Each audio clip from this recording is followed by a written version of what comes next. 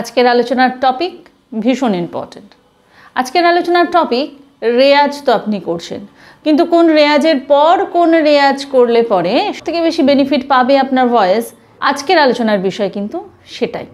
এবং এটা একটা রিকোয়েস্টেড ভিডিও কারণ এর আগে রেয়াজ করতে গিয়ে গলা বসে যায় কেন, এই টপিকের উপর যখন আমি ভিডিও বানিয়েছিলাম, তখন আমি আপনাদের কাছে জানতে চেয়েছিলাম যে আপনারা রেয়াজ রুটিন চান কি না আমার কাছ থেকে যে একটা রেয়াজ রুটিন শেয়ার করে দেবো, যাতে আপনারা বুঝতে পারবেন যে কোন রেয়াজের পর কোন রেয়াজ করাটা উচিত। তো অনেকেই আপনারা সেখানে কমেন্ট করেছেন এবং এই ভিডিওটা ডিমান্ড করেছেন, তাই আজকে আপনাদের সামনে আমি আলোচনা করতে চলেছি যে কি রকম রেয়াজ রুটিন হওয়া আপনাদের উচিত। তাহলে চলুন দেরি না করে শুরু করি আজকের ক্লাস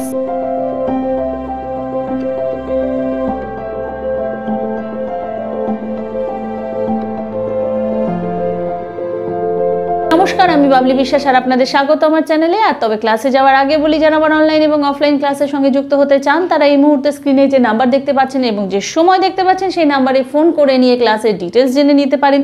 এছাড়া এটি হোয়াটসঅ্যাপ নাম্বার এই নাম্বারে নিজের নাম, বয়স এবং স্কেল জানি অ্যাজ এ স্টুডেন্ট নিজের নাম কেউ এন্ট্রি করতে পারেন, যথাসময় আমার সহকারী আপনাদের সাথে যোগাযোগ করে নেবে। তাহলে বিষয় হচ্ছে রেয়াজ রুটিন তবে রেয়াজ রুটিনে যাওয়ার আগে কিছু জিনিস মাথায় রাখতে হবে, সেটা হচ্ছে যে আপনি পারফেক্ট পিচে গান করছেন কিনা আপনি সঠিক ভয়েস থ্রোয়িংয়ের গান করছেন কিনা এবং আপনি নিয়মিত সংগীত চর্চা করছেন কিনা। এই তিনটে প্রধান বিষয় যদি ঠিকঠাক থাকে, তবেই এই রেয়াজ রুটিন কিন্তু কাজ করবে এবং আমি তো বলব যদি আপনি একটা সুন্দর রেয়াজের সময় মেনটেন করে যদি ছ মাস এইভাবে রেয়াজ করেন, অবশ্যই আপনি আপনার ভয়েসের মধ্যে অনেক তারতম্য দেখতে পাবেন, আপনার গান গাওয়ার স্টাইলের ক্ষেত্রে অনেক পরিবর্তন দেখতে পাবেন, আপনার সুর বোঝার ক্ষেত্রে আপনি অনেক পরিবর্তন দেখতে পারবেন তাহলে চলুন শুরু করি, কি রেয়াজ রুটিন হওয়া উচিত? প্রথমেই যেটা আসে সেটা হচ্ছে সময়, কারণ অনেকেই জানতে চাইবেন যে এই রেয়াজটা ভোরবেলা না, এই রেয়াজটা সকালবেলায় না, দিনের অন্যান্য টাইম না, রাত্রেবেলা। কখন করলে উপযোগী হবে? তো বিষয়টাকে ঠিক এইভাবে ভেবে নিন। আপনি ভোরে বসুন কি সকালে বসুন কি দিনের যে কোনো সময় বসুন। এই রেয়াজ রুটিনেই কাজ হবে। তবে সব সময় মনে রাখবেন, যদি আপনি ভোরবেলায় বসেন, তাহলে খুবই ভালো একটা ডিসিশন আপনার জন্য এবং খুব ভালো একটা স্টেপ আপনি নিয়েছেন নিজের ভয়েসের জন্য। তবে সেক্ষেত্রে মন্দ্র সপ্তকের পরিমাণটা একটু বাড়িয়ে দেবেন। অর্থাৎ খাদের দিকে রেয়াজের পরিমাণটা বাড়িয়ে দেবেন। ততক্ষণ অবধি খাদের রেয়াজ করবেন। যতক্ষণ পর্যন্ত আপনার গলা রেডি না হবে, মধ্য সপ্তকের মাঝামাঝিতে বা তার সপ্তকের দিকে যেতে। তো এটা আপনাকে বুঝে নিতে হবে। বাকি সিকোয়েন্স যেটা, এটা মোটামুটি এক। যারা রাত্রেবেলায় দিকে বসবেন বা বিকেলের দিকে বসবেন, তাদের ক্ষেত্রে বলব যে মন্দ সপ্তকের পরিমাণটা একটু কমিয়ে নিলেও ক্ষতি নেই। তবে যদি আপনি অনেকক্ষণ মন্দ সপ্তক রেগাজ করেন, তাতেও কিন্তু কোনো অসুবিধা নেই। কিন্তু ভোরের দিকে বসলে পরে অবশ্যই কিন্তু মন্দ সপ্তকের জন্য আপনাকে যথেষ্ট সময় দিতে হবে। এবার আসি যে কি সিকোয়েন্স আপনাকে মেনটেন করতে হবে? তো প্রথম হচ্ছে যে, একদম ঘুম থেকে ওঠা, গলা বসা, তাহলে সেক্ষেত্রে শুরু করতে হবে হামিং দিয়ে। কিন্তু আপনি সকালবেলায় রেয়াজে বসেন, কিন্তু সেটা ঠিক ভোরবেলায় নয়, বা আপনি ঘুম থেকে ঠিক উঠে উঠে রেয়াজে বসছেন না, তাহলে সেক্ষেত্রে ওমকার দিয়েও স্টার্ট করতে পারেন। সময় কতক্ষণ হবে যদি আপনি হামিং করেন? তো সেটা মোটামুটি অন্তত তিন চার মিনিট একটা হামিং করুন এবং ওমকার করলে অন্তত পাঁচ সাত মিনিটের ওমকার রেয়াজ করুন। এবং ওমকার রেয়াজের ক্ষেত্রে আমাদের কি মনে রাখতে হবে? আমরা প্রপারভাবে বৃদ্ধ নিচ্ছি এবং সেটা ধীরে ধীরে রিলিজ করতে পারছি কিনা?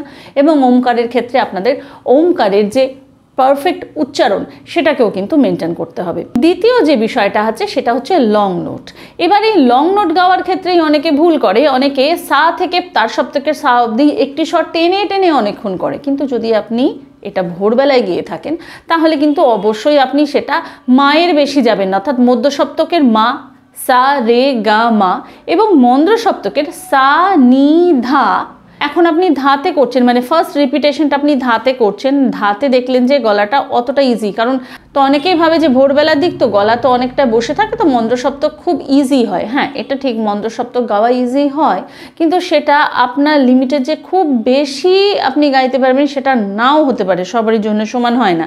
তাই সেক্ষেত্রে লং নোট গাইতে গেলে একটি নোট টেনে টেনে প্রথমে মধ্যসপ্তকের মা অবধি, তারপর মন্দ্র সপ্তকের ধা অবধি করুন। আবার মধ্য সপ্তকের মা অবধি আবার মধ্য সপ্তকের পা অবধি করুন। এইভাবে একটা একটা নোট করে আপনি মা অবধি রাখুন। এই দিক এইভাবে খাদের দিকে একটা একটা করে নোট আপনি পিছোতে থাকুন। এইভাবেই একটি লেসন অবশ্যই আমার অনলাইন বা অফলাইন দুটো ক্লাসের স্টুডেন্টকেই আমি এটা দিয়ে থাকি। তো এইভাবে আপনারা লং নোট প্র্যাকটিস করুন।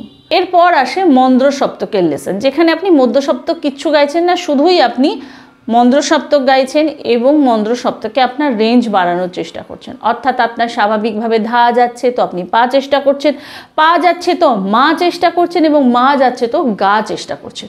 এইভাবে সিরিয়াল ওয়াইজ কিন্তু প্রত্যেকটা রেয়াজের স্টেপ হিসেবে কিন্তু লেসন দেওয়া থাকে। যারা আমার এই মুহূর্তে আমার স্টুডেন্টরা দেখছ, তাদেরকে বলি তোমরা জানো যে lesson number two three four and five এইভাবেই ধাপে ধাপে কিন্তু তোমাদের মন্দ্র সপ্তকের স্টেপগুলোকে দেখায়। তো এবং এর প্রসঙ্গে আরও একটা কথা বলি যে সবারই তো সমানভাবে রেঞ্জ হতে পারে না, যে সবারই একদম গা অবধি যাবে তো এটা তো নাও হতে পারে। তো সেক্ষেত্রে তোমার যেটা স্বাভাবিক রেঞ্জ অর্থাৎ আমি ধা অবধি বা পা অবধি গাইতে পারি, তাহলে তারপর একটা আমি চেষ্টা করব। আমি সাত দিন এরকম চেষ্টা করলাম, তারপর আমি একটা করে নোট পেছবো। ঠিক এইভাবে মন্দ্র সপ্তকটা রেয়াজ করা উচিত। কতক্ষণ রেয়াজ করা উচিত? এটা আমি যেটা বলছি সময়টা, সেটা মিনিমাম বলছি। কারণ ম্যাক্সিমাম যত বেশি করবে, যতক্ষণ তোমার গলা নিতে পারবে, এটাও একটা কথা যে কতক্ষণ তোমার ভয়েস নিতে পারছে।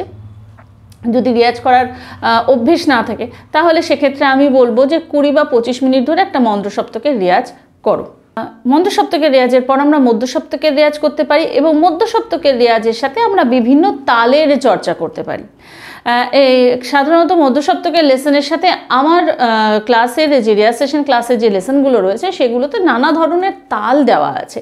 যেমন ধরো, প্রচলিত চাল যেগুলো আমাদের সবসময় গান গাইতে গিয়ে লাগে, অর্থাৎ ত্রিতাল, দাদরা, কাহারবা, ঝাপতাল, তেওড়া, এই সমস্ত একতাল, এই সমস্ত তালগুলোর ওপর বেস করে মধ্য সপ্তকের লেসন করতে পারো। যেটা হয়তো তার সপ্তকের সা অবধি যাচ্ছে বা খুব জোর হয়তো রে অবধি যাচ্ছে। তো সা বা রে অবধি যদি তোমার পিচ ঠিক থাকে, অর্থাৎ তোমার যদি স্কেল ঠিক থাকে, তাহলে কিন্তু খুব ইজিভাবে তুমি এই মুহূর্তে গাইতে পারবে। এবং তার সাথে সাথে তালেরও চর্চা হয়ে যাচ্ছে এবং তালকে চেনারও একটা প্রচেষ্টা হয়ে যাচ্ছে। তো এইভাবে মধ্য সপ্তকের লেসন কিন্তু অভ্যেস করতে হবে। মধ্য শব্দকের লেসেন পরে কিন্তু অবশ্যই গলাটা অনেকটাই বেশি খুলে যায় এবং সেই জড়তাটা আর থাকে না, যেটা ঘুম থেকে উঠে প্রথম প্রথম অবস্থায় ছিল। তাই সেক্ষেত্রে যেটা করতে হবে সেটা হচ্ছে ফ্লেক্সিবিলিটি রেয়াজ ফ্লেক্সিবিলিটি রেয়াজ বলতে আমরা এক কথায় কি বুঝি? অর্থাৎ এক কথায় যেটাকে বুঝি গলার কাজ আনার জন্য যে লেসনগুলো উপযোগী।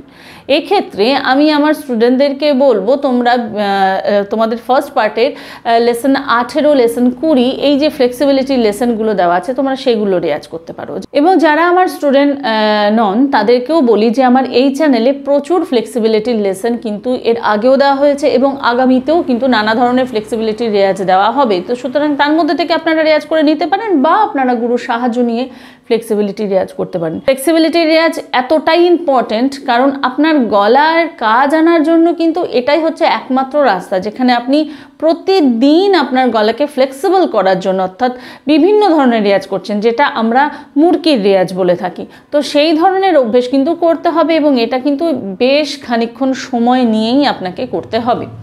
তো এই ফ্লেক্সিবিলিটির পর আপনার গলা অনেকটাই রিল্যাক্স হয়ে যায়। এরপর আপনি যেটা করবেন, সেটা হচ্ছে যে এয়ার ট্রেনিংয়ের জন্য যে লেসেনগুলো আপনার রয়েছে, আপনি সেগুলো করবেন। এয়ার ট্রেনিং অর্থাৎ আপনি আপনার সুর চেনার জন্য, শুদ্ধ কোমলের সুর চেনার জন্য, একটি স্বর থেকে দূরের স্বরে জাম্প করতে গেলে কতটা জাম্প করতে হচ্ছে, সেই সুর চেনার জন্য জাম্পিং নোট বা জিগজ্যাক নোটের জন্য যে ধরনের লেসেন প্রয়োজন হ্যাঁ সেই যে লেসেনগুলো সেগুলো অভ্যেস করা প্রয়োজন।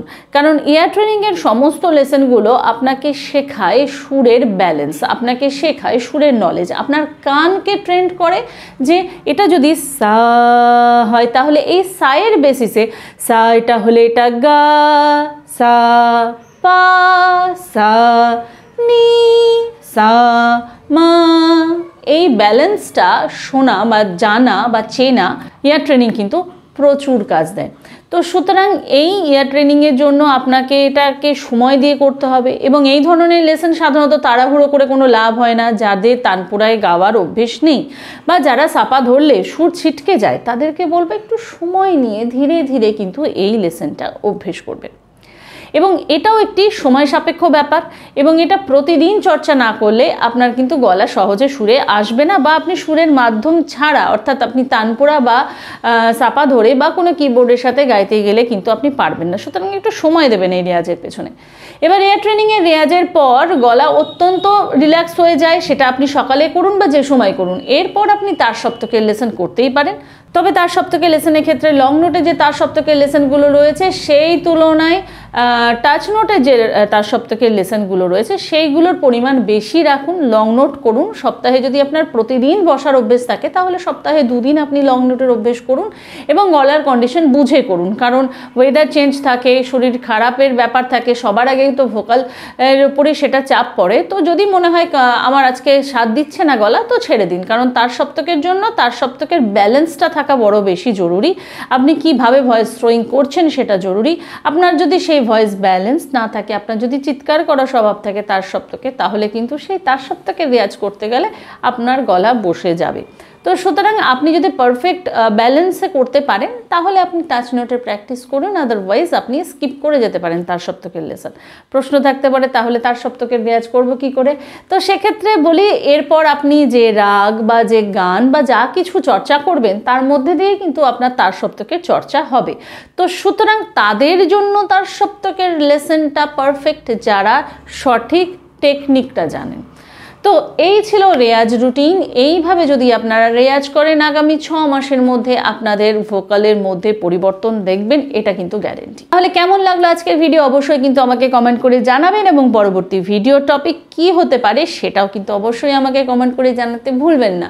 এবং আমাকে আমার সোশ্যাল মিডিয়ায় ফলো করতে চাইলে লিঙ্ক রয়েছে ডেসক্রিপশানে এবং আজকে আমার চ্যানেলে যারা নতুন, যারা এখন আমার চ্যানেলটিকে সাবস্ক্রাইব করেননি, তারা নিচে থাকা সাবস্ক্রাইব বাটনটিকে অন করে দিয়ে অল নোটিফিকেশান অন করে দিতে ভুলবেন না। তাহলে আজকে এই পর্যন্তই। সবাই ভালো থাকুন, সুস্থ থাকুন এবং সঙ্গীতময় থাকুন। নমস্কার।